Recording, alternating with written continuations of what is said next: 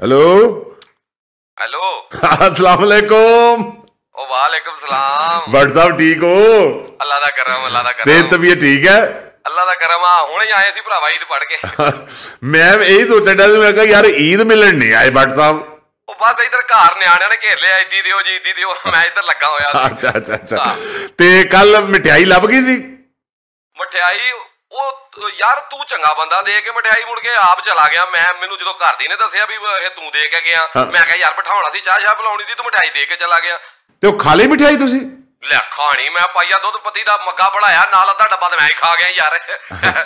ਹਾਂ ਤੇ ਉਹ ਬਲਕਿ ਮਾਮਾ ਆਇਆ ਸੀ ਪਿੰਡੋਂ। ਅੱਛਾ। ਉਹ ਕਹਿੰਦਾ ਵੀ ਮਠਿਆਈ ਲਿਆਓ ਮੇਰਾ ਵੀ ਮੂੰਹ ਮਿੱਠਾ ਕਰਾਓ। ਮਾਮੇ ਨੂੰ ਤਾਂ ਮੈਂ ਵੱਡਾ ਲੱਡੂ ਦਿੱਤਾ ਉਹਦਾ ਬਰੀਕ ਬੂੰਦੀ ਵਾਲਾ। ਉਹ ਵੀ ਖਾਦਾ ਯਾਰ ਬਹੁਤ ਆਲਾ ਬਣਾਈ ਤੇ ਯਕੀਨ ਕਰ ਗੁਲਾਬ ਜਾਮਨ ਵੀ ਖਾਦਾ ਗੁਲਾਬ ਜਾਮਣ ਭਰਾਵਾ ਆਪਸ ਦੀ ਗੱਲ ਆ ਉਹ ਗੁਲਾਬ ਜਾਮਣ ਮੈਂ ਬੱਚਿਆਂ ਨੂੰ ਵੀ ਨਹੀਂ ਦਿੰਦਾ। ਮੈਂ ਆਪ ਹੀ ਖਾਦੇ ਸਾਰੇ।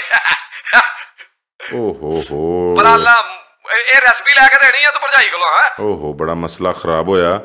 ਕੱਲ ਜਿੱਲੇ ਮੈਂ ਤੁਹਾਨੂੰ ਮਠਿਆਈ ਤੁਹਾਡੇ ਘਰ ਦੇ ਕੇ ਵਾਪਸ ਗਿਆ ਨਾ ਆਹੋ। ਤੇ ਮਠਿਆਈ ਤੋਂ ਬਾਅਦ ਤੁਹਾਡੀ ਭਰਜਾਈ ਦੀ ਹੋਈ ਤਬੀਅਤ ਖਰਾਬ। ਫੇਰ? ਮੈਂ ਲੈ ਗਿਆ ਹਸਪਤਾਲ। ਅੱਛਾ। ਉੱਥੇ ਜਾ ਕੇ ਪਤਾ ਲੱਗਾ ਕਿ ਇਹਨੂੰ ਤਾਂ ਕਰੋਨਾ ਹੈ। ਹੈ? ਹਾਂ ਉਹ ਜਿਹੜੀ ਤੁਸੀਂ ਮਠਿਆਈ ਖਾਧੀ ਹੈ ਨਾ ਹਾਂ। ਉਹ ਸਾਰੀ ਤੁਹਾਡੀ ਭਰਜਾਈ ਦੇ ਕਰੋਨਾ ਵਾਲੇ ਹੱਥਾਂ ਨਾਲ ਹੀ ਬਣੀ ਹੋਈ ਸੀ। ਉਹ ਤੇਰਾ ਬੇੜਾ ਤਰ ਜਿਓ ਤੈਨੂੰ ਚੁੱਕੇ 11 ਬਾਈ ਵਾਲੇ ਓਏ। ਉਹ ਬੇੜਾ ਤਰ ਜਾਓ ਤੁਹਾਡਾ ਓਏ। ਓਏ ਮੈਨੂੰ ਕਰੋਨਾ ਦੀ ਮਠਿਆਈ ਖਵਾਈ। ਯਾਰ ਨਹੀਂ ਪਤਾ ਲੱਗਾ ਨਾ ਸਾਨੂੰ ਕਿਸ ਕੀ ਕਰੀਏ। ਓਏ ਉਹ ਮੈਂ ਜਿੰਨੀ ਦੇਰ ਹੋ ਗਈ ਮਠਾਈ ਖਾਦੇ ਮੈਂ ਤਾਂ ਵੈਪਰ ਵੀ ਮਾਰਾਂ ਤੇ ਮਠਾਈ ਬਾਹਰ ਨਹੀਂ ਆਉਣੀ।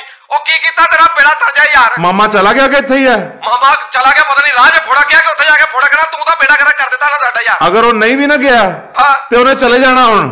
ਤੂੰ ਹੀ ਚੱਲ ਜਾਣਾ ਤੂੰ ਵੀ ਨਹੀਂ ਇੱਥੇ ਰਹਿਣਾ ਬਸ ਤੁਸੀਂ ਦੇਖਿਓ ਸਹੀ। ਕੀ ਦੇਖਣਾ ਦੇਖਣਾ ਤੇ ਤੂੰ ਆ ਦੁਨੀਆ ਤੇ ਅਸੀਂ ਤਾਂ ਚੱਲ ਜਾਣਾ। ਤੂੰ ਦੇਖਣਾ ਹੁਣ ਜੋ ਦੇਖਣਾ ਦੁਨੀਆ ਤੇ। ਨਹੀਂ ਪਤਾ ਲੱਗਾ।